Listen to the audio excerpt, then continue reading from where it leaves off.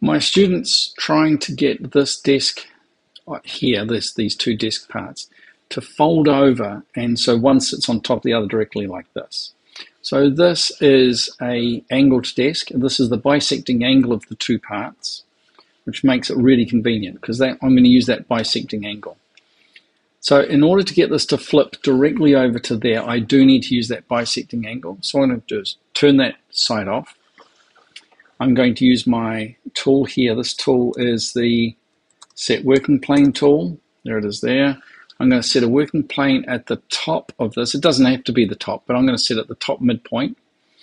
And that creates my working plane, but it doesn't rotate it the way that I need it to be rotated. So I'm going to grab the green dot here, rotate that 90 degrees.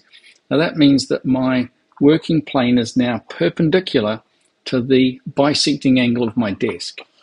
It's really important because when I select this object here and I get my rotate tool, I can use my working plane now to rotate my desk portion and to get it to come all the way over and you'll notice that if you just watch that ghost, it sits perfectly on top of my other part of the desk. This is really cool and by using the bisecting angle I get it to sit exactly where I need to.